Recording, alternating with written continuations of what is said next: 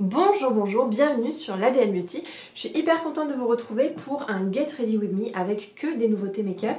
Enfin, pas que, il y, a, quand même quelques petites anciennetés, mais je voulais tester des nouveautés make-up avec vous. Il va y avoir euh, du Anastasia Beverly Hills, du euh, KVD, du Bobbi Brown, du Fenty, du Soft Brow. Franchement, c'est varié, c'est plutôt pas mal. Alors, on y va. Si vous voulez avoir ce petit look pailleté de toute beauté, moi je suis très contente de mon look. Hein. Je sais pas pour vous, mais moi, euh, je kiffe. Même pour aller acheter le pain. Voilà, bah, si vous voulez avoir ce look, euh, restez avec moi. Allez, on va démarrer ce Get Ready With Me euh, par s'attacher les cheveux, hein, hyper important. Mais bon, non, on va vraiment démarrer avec ce fond de teint de chez Bobbi Brown que j'ai acheté en solde. Il s'agit du Moisture Rich Foundation SPF 15, fond de teint ultra hydratant. Donc moi, vous mettez fond de teint hydratant, j'achète. C'est comme ça, c'est pas autrement. J'adore la marque Bobbi Brown. Je l'ai un peu délaissée, je trouve, ces trois dernières années, alors que dans ma vie euh, de, youtubeuse, de, de make-up addict, c'est par Bobbi Brown que je suis rentrée. J'ai découvert le maquillage par Bobbi Brown, rue des Francs-Bourgeois. Il y a une boutique euh, absolument euh, géniale où j'ai été conseillée par des personnes géniales aussi, qui m'ont appris à me maquiller et qui m'ont tout de suite orientée vers des textures glowy à une époque où c'était que le matin euh, qui régissait la situation euh, de, beauté. Voilà. Bref, donc je suis un peu dégoûtée parce que je l'ai acheté en solde sur vente privée et le problème, comme vous le voyez, c'est que j'ai pas de pompe pour aller avec. Hein. Donc ça va être hyper galère euh, pour pouvoir l'appliquer. On va l'appliquer comme ça, très très basiquement, au pouce. La couleur, on va dire que euh, ça va être bon. Main. De toute façon, on va falloir se débrouiller avec. Hop, voilà, j'en ai déjà mis partout. Génial. Donc voilà, c'est un peu... Euh, je vais essayer de faire un tour dans un Bobbi Brown, demander s'ils n'ont pas des flacons pompes euh, en rab. Et j'ai choisi de tout appliquer au pinceau avec mon miroir géant. On y va. Alors c'est un fond de teint, pour le moment je peux vous dire qu'il est light, c'est pas un fond de teint très très courant. Il est euh, peut-être plus adapté à mon, teint d'été qu'à mon teint d'hiver, hein, parce que là je suis vraiment au plus clair de l'année. Donc il est un poil peut-être trop orangé. Sinon pour le moment, j'aime beaucoup le rendu. On dirait plus un sérum de teint qu'un fond de teint. Il n'est pas très très crémeux. Voilà. Bah écoutez, première impression, c'est un fond de teint qui est plutôt pas mal. Maintenant, il est assez peu crémeux, euh, il pénètre très très vite et donc du coup, ça donne l'impression juste d'avoir coloré sa peau et non pas, euh, bah, il travaille pas du tout la texture de la peau. C'est ça que je voulais vous dire. C'est pas un fond de teint qui va glisser, c'est pas un fond de teint qui va euh, bien camoufler, c'est plutôt un fond de teint qui va rajouter de la couleur à votre peau. Voilà. Vous voyez là, je suis un peu rouge là parce que j'ai fait un petit gommage ce matin et du coup, ça vient absolument pas camoufler les rougeurs. Non, bah écoutez, je. Je sais pas. Je sais pas, je sais pas, je sais pas. Je suis pas en mode euh, waouh. Euh, bon, il fait une très très jolie peau, je dis pas le contraire. Peut-être qu'on peut essayer d'appliquer une seconde couche hein, pour voir si c'est un fond de teint qui se travaille ou pas. Hop, toujours avec le système du pouce, ça peut être pratique ce truc là. Hein. Bon, en tout cas voilà, c'est un très joli fond de teint. Il est glowy, il viendra pas travailler la texture de votre peau. Vous savez, des, fonds de teint, quand vous les mettez, ça vous fait un fini lisse, ça vous fait un fini velouté, un fini satiné. Là, il n'y a aucun fini. Vous avez l'impression de mettre un petit peu de bronzer dans votre peau pour lui donner une bonne mine. Donc là, tout de suite, j'ai une super belle mine, ok? Mais ça n'a pas touché à la texture de la peau, ce qui va lui donner un, aspect extrêmement naturel. Je suis assez, euh, comment dire, euh, assez perplexe parce que c'est voilà, c'est plus un sérum de teint qu'un fond de teint. On va passer maintenant au primer. Donc là, j'utilise un nouveau primer qui s'appelle le Glitter Glue de chez Too Faced. J'étais euh, chez Sephora et euh, j'ai demandé quel était le meilleur primer pour, les, pour fards à paupières euh, paillettes. Et là, j'ai eu deux réponses. j'ai eu la colle à paillettes de chez Anastasia Beverly Hills qui est hyper reconnue et j'ai eu ce primer là dont j'avais jamais, jamais entendu parler. Comme la colle à paillettes n'était pas du tout disponible, du coup bah, euh, j'ai acheté celui-là. Et euh, j'ai fait le test en magasin, c'est-à-dire que j'ai essayé d'appliquer des paillettes sans primer sur le dos de la main et avec primer et j'ai tout de suite vu la différence. J'espère, euh, j'ai l'impression ou j'espère que j'ai trouvé une pépite. Alors l'ennui de la colle à paillettes comme ça, c'est est-ce que ça va fonctionner si j'utilise des textures mates par-dessus? Je ne sais pas vraiment, euh, parce qu'il va falloir que je mette un peu de mat quand même, hein, dans le creux de paupière pour une couleur de transition. On va voir, je, vais peut-être foirer mon maquillage, j'en sais rien, mais on, va tester. C'est une texture particulière, hein. c'est assez, euh, assez collant, euh, je dois dire. C'est peut-être pour ça que c'est une super colle à, à, paillettes, mais du coup, je vais peut-être avoir du mal à estomper mon fard de transition. On va se rapprocher euh, de la caméra et cette fois-ci, on va utiliser la palette euh, de chez Anastasia Beverly Hills. Elle est vraiment belle. Bon, alors nous on va se faire, je sais pas encore quel maquillage, mais on va commencer par une couleur de transition. C'est cette ocre-là qui s'appelle New euh. Et on va prendre un pinceau fluffy en espérant que bah, la colle à paillettes va ne pas m'embêter quand il s'agira d'estomper cette couleur mat. Bon, ça va. Alors bien entendu, on ne vous présentera plus euh, pour la énième fois euh, les palettes Anastasia Beverly Hills. On est sur des niveaux de pigmentation qui sont euh, absolument incroyables. Moi, j'adore. ce sont mes palettes préférées, c'est une de mes marques préférées. J'espère qu'un jour, le green, la clean beauty, aura l'audace et l'intelligence de se comparer à du Anastasia Beverly Hills pour trouver le moyen de faire des fards aussi crémeux, aussi pigmentés, qui se travaillent aussi bien. Voilà, moi j'avoue que euh, Anastasia Beverly Hills, pour moi c'est un must. Hein. Donc euh, bon, ben, je vous apprends rien en vous disant que déjà ce mat là il est très très joli. Euh, il s'estompe super bien, il, il, est parfait. On va mettre de la paillette. Alors moi, un de mes fards préférés, c'est celui-là. Hop, juste celui-là qui est absolument génial. Ce sont des paillettes dorées duochrome rose. C'est d'une beauté, mais d'une beauté. On va essayer d'appliquer ça avec une spatule à paillettes. Donc euh, c'est chez NYX que j'ai trouvé ça. C'est des embouts qui sont siliconés et qui permettent d'accrocher la paillette. Donc je vais prendre ce phare euh, absolument incroyable. Je vais essayer de l'appliquer. Et ça marche merveilleusement bien. Oh Qu'est-ce qu'il est beau ce phare, si vous saviez. Qu'est-ce qu'il est beau, mais alors, quelle réussite. Alors, est-ce que je vais réussir à le déposer de façon uniforme? Hmm, C'est un peu difficile. Hein. Ça colle bien sur euh, le primer que j'ai mis. Mais on sent que c'est assez difficile à mettre. On va essayer peut-être l'autre embout. Non. Je vais peut-être essayer au doigt. J'aimerais que ce soit un peu plus chargé en paillettes en vrai. Même je voudrais que ce soit saturé. Hop. Au doigt. Ah Ouais. C'est beaucoup mieux au doigt.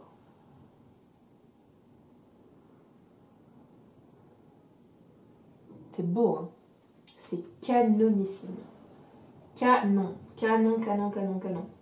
Alors du coup, j'ai des petites chutes que je vais nettoyer tout à l'heure mais c'est très très très joli. On va reprendre la spatule à paillettes pour faire une première application et puis on va finir au doigt. Mais alors, ce que je peux vous dire d'ores et déjà, c'est que le pan du fard pailleté se creuse très très vite. Hein. C'est très facile euh, d'user euh, très très vite euh, ce fard là. Je suis hyper contente. Je trouve que c'est un fard mais qui est absolument sublime. Et oui, la, la colle à paillettes de, chez Too Faced est vachement bien. Elle est potentiellement même mieux que celle de chez NYX. Vraiment très très bien. Je suis très contente du résultat. On va continuer avec euh, ces couleurs un petit peu spéciales et on va prendre cette couleur là, euh, ce lilas qui est très joli et on va essayer de l'appliquer en coin interne. Hop. Pour rappeler le côté rose qu'on peut retrouver euh, ici. Et quand je vous dis en coin interne, c'est vraiment uniquement au coin interne par petites touches. Il faut que ça reste discret. Il faut pas que ça fasse euh, la grosse tranche de lilas, quoi. Enfin, vous m'avez comprise. Voilà le résultat. On va s'arrêter là pour le moment. Et ce qu'on va faire, c'est appliquer euh, un anti-cerne pour déjà nettoyer tout ça. Et ensuite, euh, une fois qu'on aura mis l'anti-cerne, on va continuer avec les yeux. C'est toujours comme ça que je procède. Je trouve ça, je trouve ça fait un maquillage beaucoup plus clean. Donc, comme anti-cerne, j'ai cet anti-cerne de chez Bobbi Brown, qui n'est pas vraiment un anti-cerne en fait, qui est plus un correcteur. euh, qui s'appelle l'Intensive Skin Serum Corrector. En fait, c'est un sérum correcteur et qui fait soin, qui fait partie de la gamme intensive, qui a été un peu reformulée et repackagée là ces derniers temps. Moi, c'est l'ancienne formulation que j'ai. Et euh, c'est à la fois du soin et à la fois du maquillage. Et moi, c'est ce que j'aime énormément. Euh, qu'est-ce que je vais, avec quoi je vais l'estomper Donc, on va prendre ce pinceau là de chez Colourpop et on va estomper tout ça.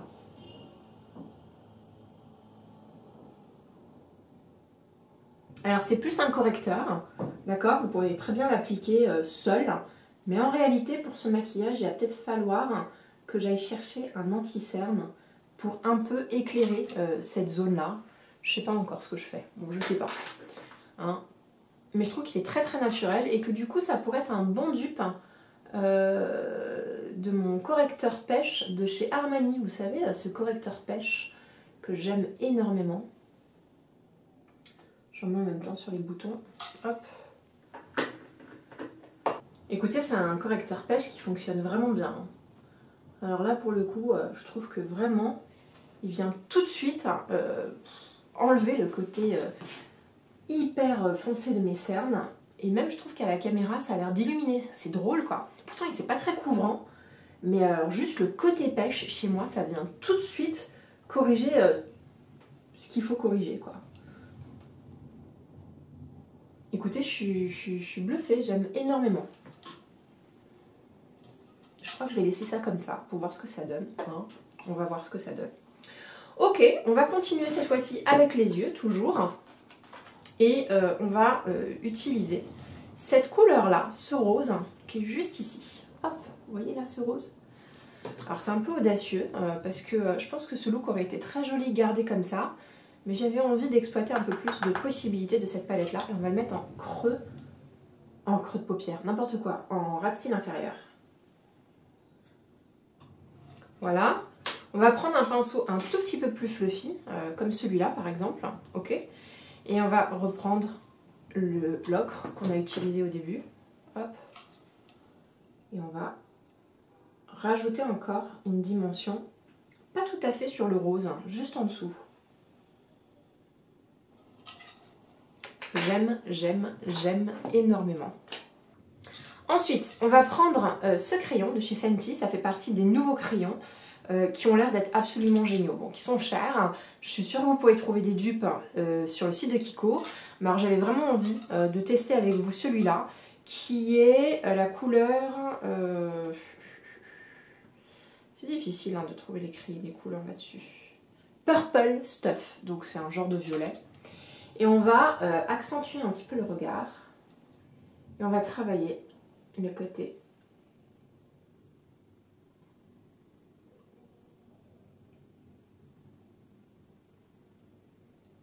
Voilà. Alors si les paillettes sont très très jolies, je préfère vous prévenir, je trouve qu'elles tombent encore. Même si j'ai mis de la colle à paillettes, hein, euh, bah, j'ai de la paillette qui tombe encore et j'en ai même à l'intérieur de l'œil pour tout vous dire. Donc c'est pas tip top tip top. Hein. Les, les paillettes, pardon, je pratique ça depuis quand même super longtemps. J'ai notamment les paillettes de la palette NYX euh, qui sont agglomérées dans un truc qui fait que les paillettes elles tiennent et qu'elles bougent pas. Là, on sent que les paillettes sont encore trop libres, même dans le pan. Même si elle a mis un petit peu de trucs pour les agglomérer pour que bah, ça reste entre eux, les paillettes, enfin, restent entre elles. Les paillettes, je trouve, sont, encore trop libres euh, de partir. En tout cas, euh, voilà, je préfère vous le dire. Faites attention quand vous en mettez parce qu'on sait qu'aujourd'hui, les paillettes, ça peut euh, blesser la cornée et il faut pas trop s'en mettre dans les yeux. Bon, écoutez, moi, j'aime beaucoup le maquillage tel qu'il est là aujourd'hui. je vais peut-être juste essayer d'accentuer le regard là. Voilà. On va utiliser maintenant le mascara de chez Fenty. Alors là, euh, le mascara de chez Fenty, je ne sais pas quoi vous, vous dire. Je l'ai acheté sans trop avoir regardé de revues sur internet, donc je ne sais pas s'il est bien, je ne sais pas s'il est pas bien. J'ai pas regardé d'autres revues ces derniers temps, donc ça va être la découverte. Sachant que sur les mascaras, c'est rarement la première application qu'on a le coup de foudre. C'est toujours bien après, toujours. Donc je vais être indulgente avec ce produit-là et lui redonner probablement une autre chance à un autre moment. Alors déjà, je trouve que c'est une brosse, on ne sait pas trop comment la prendre. Alors là, on est un peu gêné, on se dit, est-ce qu'on la prend à plat Est-ce qu'on la prend... Bon, je sais pas trop. Mais l'avantage, c'est que je trouve qu'elle accroche super bien les cils. trouve qu'il y a un très joli effet euh, papillon. Ça, ça, ça écarte bien bien les cils les uns par rapport aux autres. Hein. Ça c'est plutôt pas mal. Je trouve que ça fait pas effet pâté. Ça travaille bien la longueur. Mais est-ce que ça travaille le volume? Écoutez, c'est très très joli. Mais ça travaille pas suffisamment le volume. Moi, en tout cas, c'est le retour que je peux vous faire là tout de suite. Hein. Euh, je pense que c'est un mascara qui est très joli, euh, sans rien du tout, sans trop de paillettes, sans trop de fard à paupières. Parce que là, du coup, euh, je trouve qu'il n'est pas assez voyant. C'est un mascara qui est difficile à appliquer en ras de cils inférieur. Voilà le résultat, je suis plutôt satisfaite. C'est voilà, je, garde ce mascara en tête parce que il a quand même un, effet qui est très très joli pour une première application.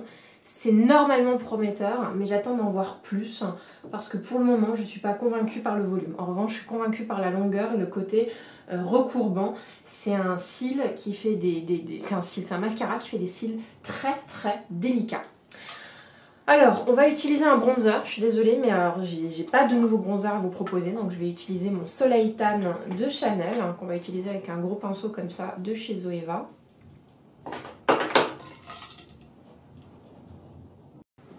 En blush, j'avais super hâte de tester le nouveau blush de chez KVD. Euh, le voici. Celui-là, là, c'est la couleur Fox Glove. On est sur un nude rosé, il est beaucoup plus rose à la caméra qu'en réalité et je pense que c'est l'effet rose qui est autour, l'effet parme, fait que ça parmise un petit peu euh, ce blush là alors qu'il est beaucoup plus nude euh, que, que parme. Voilà, et on va appliquer ça avec mon pinceau à blush de Cheryl Techniques. Alors apparemment c'est un blush hyper pigmenté, il faut faire attention et pas avoir la main lourde. Non, ça va.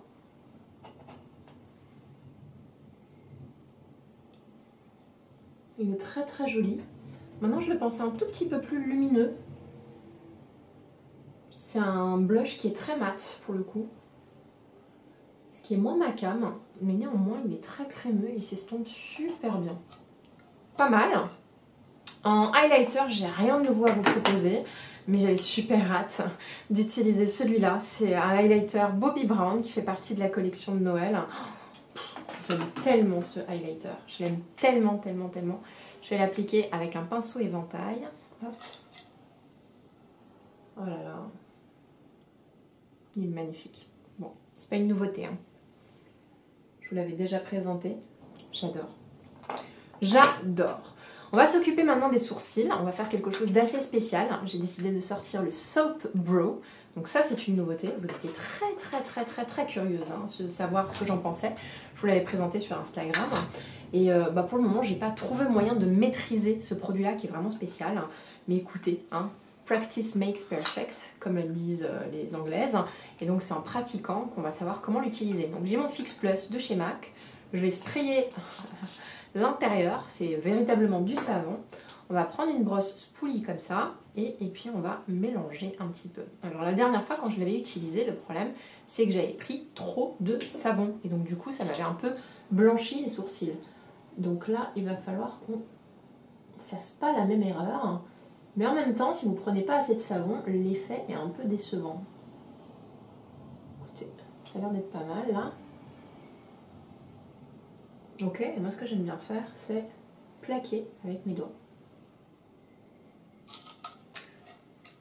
J'aime beaucoup. J'aime beaucoup, beaucoup. Voilà. Normalement, pour faire parfaitement bien, il aurait fallu que je découpe mes sourcils pour qu'ils soient tous de la même longueur. Mais écoutez, hein, on va dire que c'est l'effet l'ADN Beauty. Hein. Par contre, ça salit assez rapidement toutes vos, toutes vos brosses. Bon, j'aime énormément énormément. Je suis pas sûre que ce soit au goût de tout le monde, mais alors j'adore. Par contre, euh, vous avez un effet euh, collant qui est assez spécial. On va prendre euh, mon crayon de chez hum, Benefit, le Precisely My Brow Pencil que j'ai en, en teinte 4.5. C'est pas exactement une nouveauté, mais je viens de le racheter. Et on va essayer de restructurer ça. Voilà. L'idée c'est de rajouter des poils là où il en manque. La plupart du temps, euh, quand elles mettent du soft brow, les make-up artistes utilisent la Deep, Brow, la Brow Pomade de chez Anastasia Beverly Hills. Là, j'essaie d'utiliser le crayon, mais j'avoue que le crayon marque pas. C'est pas facile. Et j'ai l'impression qu'en plus, avec le crayon, je dérange un peu le côté broussailleux que je suis en train de créer. Donc c'était plus la Dibro pommade qu'il me faut. Voilà, voilà, voilà, je vous montre dans le détail un petit peu ce que ça donne. C'est particulier, hein. je sais que c'est pas au goût de tout le monde, mais euh, écoutez, euh, moi je suis ravie. La bouche, j'ai décidé d'utiliser les nouveaux crayons qui sont sortis chez Sephora, qui ont l'air d'être juste déments. Je savais plus quelle couleur choisir, tellement je les voulais tous. Moi j'ai pris donc, j'ai fait un choix hein, bien entendu, j'ai pris la couleur Marvelous Mauve, hein, qui est la couleur numéro 13. Euh, Et bon, j'ai appliqué un baume à lèvres avant. Alors il n'est pas si mauve que ça, mais maintenant moi j'ai les lèvres tellement foncées que... Je trouve même qu'il fait presque plus rose que mauve. Donc le nom est mal choisi. Écoutez, j'aime beaucoup ce crayon-là. Il est très crémeux. Il est très naturel sur moi, ce qui est parfait. Et puis on va appliquer un gloss de chez Pat McGrath. Enfin, c'est un nouveau C'est un nouveau, je me suis acheté celui-là qui s'appelle le Aphrodisiaque. J'en rêvais. J'adore les gloss Pat McGrath. J'adore, j'adore, j'adore les gloss Pat McGrath. Je suis complètement dingue des gloss Pat McGrath. Et voilà. J'adore, j'adore, j'adore. Bon ben voilà, je crois que c'est presque bon pour le maquillage. On a mis le highlighter, on a fait les sourcils pour une fois, on a, on a tenté de nouvelles aventures. On va prendre un petit peu de recul et on va faire le point. Alors, sur le teint, euh, disons que je sais pas trop. Sur euh, ce fond de teint de chez Bobbi Brown, j'aime bien. Je pense qu'il est un poil foncé, donc j'ai du mal à en apprécier la qualité là pour le moment. Il est hydratant, moi qui n'ai pas mis d'huile aujourd'hui, je sens le côté hydratant, l'hydratation de ma peau est respectée. Après, euh, je sais pas comment vous expliquer, on dirait plus un sérum de teint qui vient donner une coloration plus qu'un fond de teint qui va créer un fini. C'est ça qui me perturbe un petit peu. Ensuite, pour l'anti-cerne, eh ben, écoutez, plutôt bonne pioche. Euh, généralement, je n'aime pas les anti-cernes Bobbi Brown parce qu'ils ont tendance à rester, en surface de ma peau. Et ben dans cette euh, gamme-là, c'est-à-dire la gamme euh, des Intensive Skin Serum, j'aime énormément. En plus, il a une couleur pêche qui a tout de suite neutralisé le côté violacé de mes cernes. C'est juste parfait pour les teints olives comme moi. Je l'ai pris en teinte Dark Peach Bisque. Pour le mascara, bah écoutez, euh, pour moi il est prometteur. Maintenant il n'est pas assez euh, volumisant. Il, fait des très jolis cils, une très jolie frange. Je vais pas vous mentir, je pense que c'est un excellent mascara, mais pour celles qui recherchent de la longueur et un côté délicat.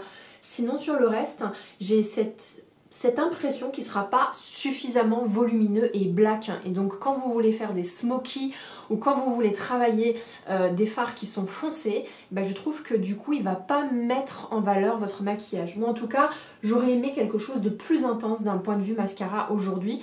Mais franchement pour, un produit que j'ai ouvert aujourd'hui, euh, je dois dire qu'il est très prometteur. Le Sop Bro, euh, bah j'adore, j'adore, euh, je trouve ça absolument génial, ça fixe super bien le sourcil, ça a cet effet bushy comme j'aime. Il me reste quand même à travailler mon sourcil, mais alors je pense que ça, ça va être ma BFF bientôt.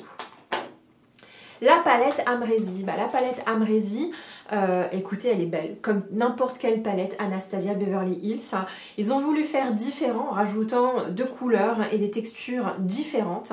Je dois avouer que ces glitters-là sont particulièrement réussis. La couleur est sublime. Ce ce gold avec des reflets roses est magnifique.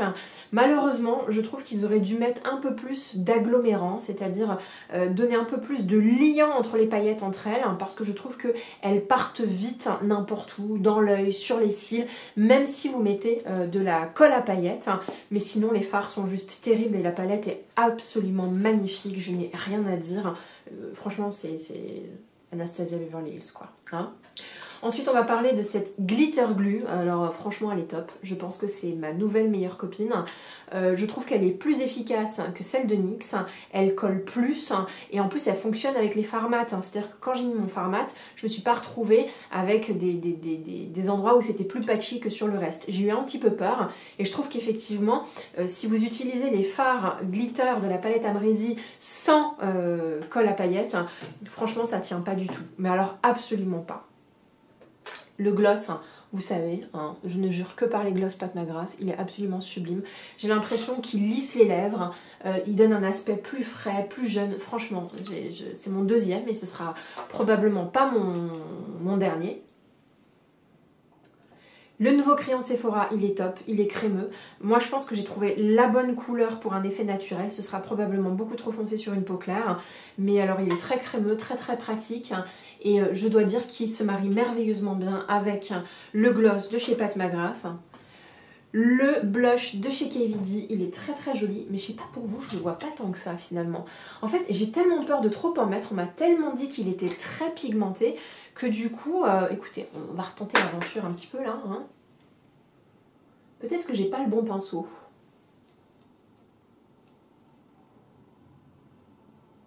Hein? Si, si, il est pas mal. Mais je sais pas, je suis pas en mode... Euh, waouh Je suis pas en mode euh, je viens de prendre une claque. Alors que vraiment, je m'attendais... Enfin, franchement, quand vous le prenez comme ça sur la main, vous le mettez sur le dos de la main, je trouve que c'est un, un, phare extrêmement pigmenté. Mais sur la joue, il est plus si pigmenté que ça. Hein, écoutez. Le crayon de chez Fenty, bah, il est top. Et là, on a un sérieux concurrent à ceux de Marc Jacobs. Hein. Mais limite, je préfère la gamme de couleurs proposée par Fenty. Hein. Et puis je crois que c'est tout. Parce que le reste, c'est pas très nouveau. Hein. Non mais écoutez, moi je suis plutôt satisfaite de mon maquillage. Je le trouve vraiment très très joli. Euh, à la fois festif et puis à la fois euh, je vais mettre des baskets, je vais mettre un jean et je vais me balader. C'est genre oui je sais, j'ai mis des paillettes. Et alors hein? Voilà. J'espère que vous avez aimé. Si c'est le cas, mettez un petit like. Si vous voulez revoir cette petite tête de livre, euh, ben, n'hésitez pas à vous abonner. Je suis là deux fois par semaine, le mercredi et le jeudi. Et d'ici là, je vous embrasse.